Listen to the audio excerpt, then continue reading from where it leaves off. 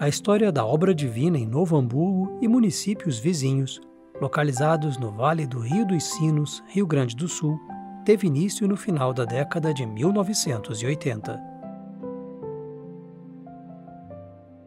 Em meados dos anos 80, em São Leopoldo, município vizinho a Novo Hamburgo, eram realizadas reuniões de Jorei com o objetivo de expandir a obra divina na região, como recorda com emoção Kepler Reis Cutrim.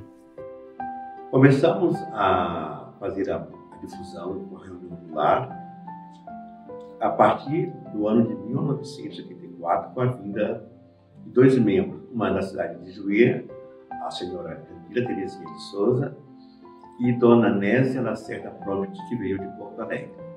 Ela era assistente de ministro, e daí começamos a fazer lá com o objetivo de expandir a obra divina no Vale dos Sinos, não totalmente só na mas seria no Vale dos Sinos. A dona Nésia, ela era muito forte na administração do Jorei. Ela acreditava que o Jorei soluciona qualquer problema. E ela tinha muita convicção na missão de Meixo Sama como salvador da humanidade. E ela transmitia isso. Eu fui um privilegiado de poder conviver com ela também. Ver como que ela incentivava os familiares e outras pessoas a receberem o Ricari. Para ela, receber o Ricari era um passo muito importante para a salvação das pessoas. Na década seguinte, a difusão messiânica nas cidades da região metropolitana de Porto Alegre ganha força. Maria Gorete Pereira dos Santos, outorgada em 1993 em Porto Alegre, assim recorda o início de sua dedicação em Novo Hamburgo.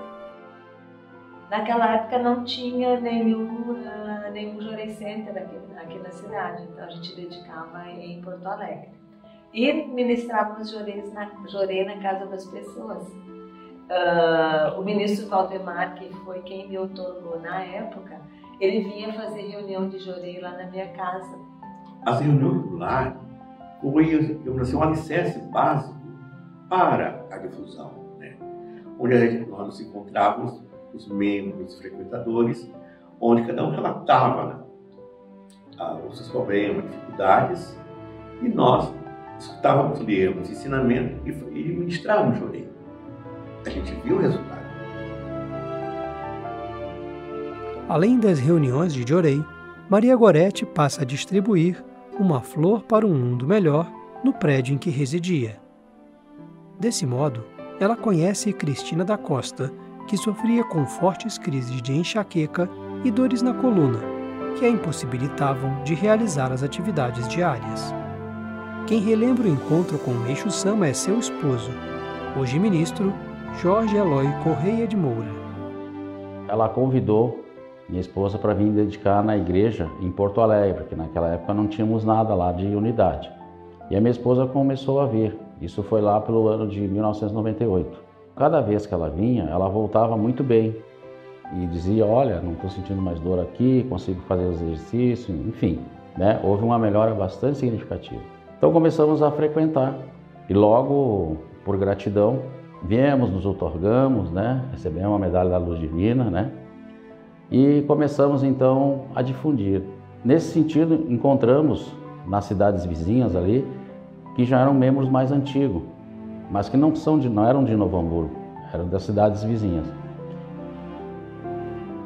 Após encontrarem membros residentes nas cidades vizinhas e desejarem abrir um ponto de luz em Novo Hamburgo, os missionários buscam orientação com o responsável pela Casa de Difusão Porto Alegre, o então ministro Luiz Carlos Santos de Miranda. Tinha um ministro aqui, ministro Miranda, e a gente conversou com ele perguntando se poderíamos ter uma unidade lá, um ponto de luz, né? E então ele disse, olha, depende de vocês. É, reunir as pessoas lá. O ministro Miranda, né, ele fez um desafio para os membros. Vocês querem então o núcleo, então vocês ficam responsáveis para pagar o aluguel, as despesas, né, por, você, por conta de vocês. Aí, conversando entre nós, a gente, não, vamos alugar então. Aí nós alugamos uma sala bem pequenininha aqui no centro da cidade, numa galeria, né? A sala comercial para funcionamento do Núcleo de Diorei, Novo Hamburgo, na rua Magalhães Calvete 55, sala 21, foi alugada em março de 1999. E a gente fazia assim a sala que a gente alugou. Então a gente uh, lixou parede, pintou, organizou. Todos os móveis que a gente teve no nosso núcleo foram doação das pessoas. E uma das salas a gente usava para fazer reuniões de jorei. Mas esse núcleo de jorei que funcionava na Galeria dos Calçados foi o embrião desse, dessa unidade religiosa, o Jorei Center Novo Hamburgo. Era ali na Magalhães Calvete, número 55, sala 21. Depois passamos para a sala 14, 15 e 16, aonde que teve um espaço que era somente para utilizar as aulas ministradas pela professora de Equebana, né? É, cabiam quatro pessoas apenas naquela sala, né?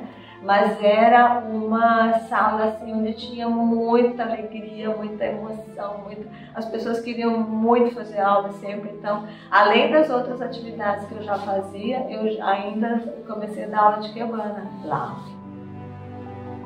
Por cerca de 15 anos, a difusão do Jorei e dos ensinamentos de Meishu Sama foi realizada neste local. Em 2018, já funcionando em seu atual endereço, a Rua Coelho Neto 116, bairro Vila Rosa, a unidade é elevada à condição de Jorei Center. Em 3 de dezembro foi celebrado o culto de entronização das imagens da Luz Divina e de Meixo Sama pelo então ministro Pedro Gibrail Tanus, responsável da Igreja Rio Grande do Sul. Desde o início, as atividades de difusão na cidade contaram com a dedicação sincera de diversos ministros e missionários em prol do crescimento da Igreja. Inspirados no legado de seus pioneiros, os messiânicos do Jorei Center Novo Hamburgo se empenham na obra divina.